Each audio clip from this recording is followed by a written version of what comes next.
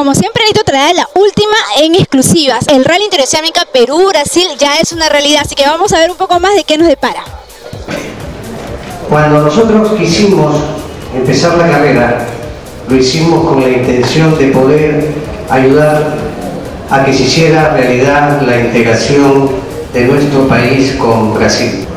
Encontramos muchísimas trabas, lo que nos obligó a que el día de hoy pueda decir con mucha satisfacción que ha nacido un nuevo club en el Perú, el Automóvil Club de Lima, el cual tengo el honor de presidir. Creo que es la forma que se debe manejar un deporte en el Perú, todos unidos.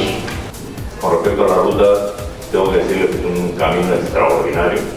Esta es quizá la primera vez que puedo decir que el lado peruano es muy superior al lado de nuestro vecino. Estamos con Mauricio, Mauricio, que va a correr como primicia. ¿Qué tal, Mauricio? Qué gusto verte. Cuéntanos la primicia de que vas a correr en el Rally Interoceánico. Me estoy preparando ya, teniendo mi debut de profesional, para ser corredor de autos, ya profesional, y debuto en la interoceánica, ¿no? O sea, imagínate salir de, de, bueno, para ese gobierno. Bueno, la el esfuerzo está en los dos lados, tanto del Perú como del lado brasileño. Esta carretera, por lo menos en este rally, se va a concentrar en el estado de Acre, cuya capital es Río Blanco, es el estado fronterizo más cercano al Perú.